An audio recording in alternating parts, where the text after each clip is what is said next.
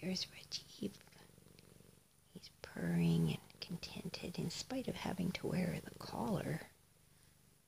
Yeah. Let me make sure. Who's a good boy? Yeah. So his collar is here on him to prevent him from licking because he's had the Demodex mites eating away at him at his skin. It started on the back. He was having a lot of redness on the back here.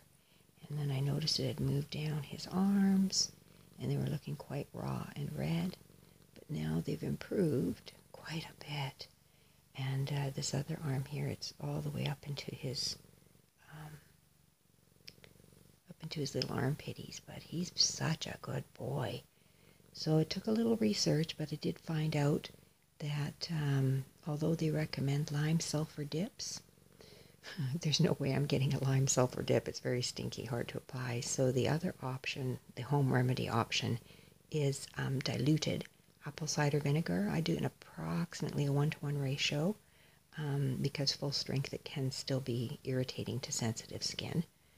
Um, that was followed by uh, aloe vera gel, and uh, I was able to also find a 0.5% over the counter hydrocortisone cream with aloe vera, which is also applied to take down the itch because it's very itchy, as you can imagine, being bitten by mites like this.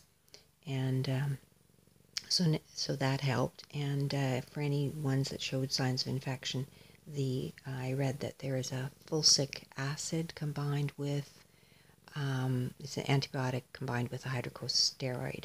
I'm not sure if you can get over the counter or not, but the taromycin is also an ointment that has been used for cat scratch bites, injuries, and I, I just um, did a little bit of it mixed with the hydrocortisone cream to uh, apply to those that look the worst.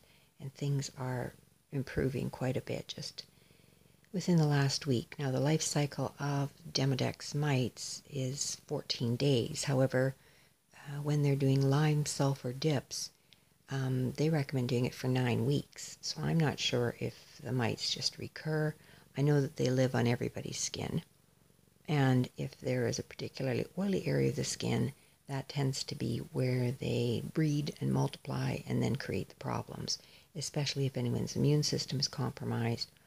And I don't know about his, but um, that's how this problem started by feeding him the royal canin heron skin and the omega 3s, which were intended to improve his skin, which it did, but over the three weeks that it was improving his skin, it was providing food for the Demodex mites, which caused them to sort of start uh, multiplying on his typically forearms and uh, side of his face and uh, his back. And that was the telltale marks and signs to allow me to figure out. I'll just say the word diagnose, even though you're not supposed to. figure out that he had Demodex mites, which the vet totally overlooked. And uh, yeah, with the revolution, um, his ear mites also a bit overlooked. Um, that didn't respond to the underdose treatment of revolution the first time, um, or the second application of uh, I'm not quite sure what, but the third application of revolution within days, those ear mites in his ears, the, the ear dirt, completely cleared up.